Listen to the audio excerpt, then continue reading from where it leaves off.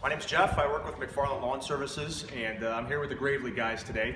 And uh, we have pretty much converted our entire fleet over to Gravely mowers. Uh, used to use a lot of Exmark, and not even a comparison anymore. The bagging unit and the overall uh, integrity of these mowers is unmatched, in all honesty. Um, you know, we bag and take everything, and that's important to us with the bagging units, and uh, these mowers have done the job for us. So I am a 100% supporter of Gravely. I've always had good communication with their techs and everybody else, and uh, you know, good business.